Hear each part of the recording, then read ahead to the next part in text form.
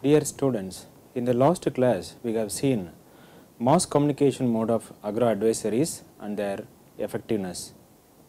In this class we will like to see the, the discussion on weather forecast and uh, agro advisory from different websites. In India nowadays the information technology provided a wire free connection to all the remotely located places across the nation. This can be used for dissemination of the agro advisory services through a wire free connection using the different websites. Let us see the important activities of the agro advisory services for dissemination. It consists of uh, three important parts before being uh, synthesized. The first one is the development of medium range weather forecast for 5 days at a district level which can be prepared by the India Meteorological Department consisting of uh, IMD headquarters New Delhi, DDG AGMET located at uh, Pune, regional meteorological centers. After preparing the weather forecast issued to the agro meteorological field units located at uh, 127 field units across the India.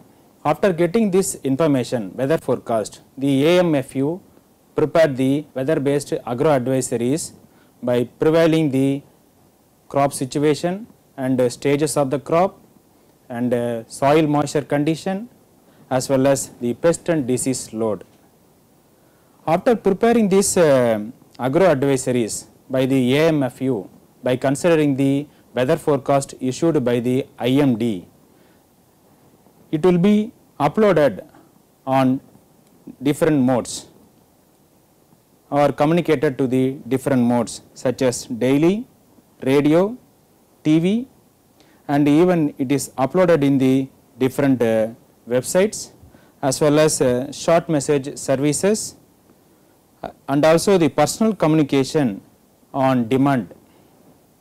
Let us see the what are all the websites which communicates or disseminate the agro advisory services in India. The India Meteorological Department located at uh, New Delhi, it's one of the prime most uh, organization to provide several kinds of weather information, weather forecasting. It includes agro advisory services to the farmers. If you go to the menu services, then you can click the farmers and uh, agriculture drop down menu. It will uh, take you to the other website that is indiaagrimet.gov.in. This is the agriculture meteorological division which provides the compiled information of uh, district level agro advisory services. I told you already that the medium range weather forecast issued by the IMD has been taken by the AMFU unit to prepare the weather agro advisories then those informations are provided in the agricultural meteorology division website. It provides lot of information such as agromet services, the weather forecast on weekly basis or daily basis as well as it provides the information for uh, district level, state level and also the national level. If you click the information the district agro advisory services bulletin it will take you to the other pages that will list all the states available in India starting from Andaman and Nicobar, Andhra Pradesh, Arunachal Pradesh, Assam, Bihar, Chhattisgarh, Gujarat. If you want to know the, the agro advisories for your districts, you can choose the state and select your districts. You can get the information about the agro advisories for your districts.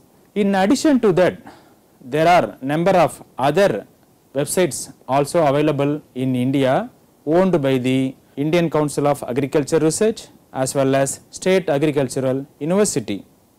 Indian Council of Agriculture Research located at uh, New Delhi are also provided uh, agro advisory services through their websites. Likewise, the Indian Agricultural Research Institute located at uh, New Delhi also provided the agro advisory services on weekly basis. Similarly, the Central Research Institute for uh, Dryland Agriculture located at uh, Hyderabad has also provided the similar kind of information to the farmers.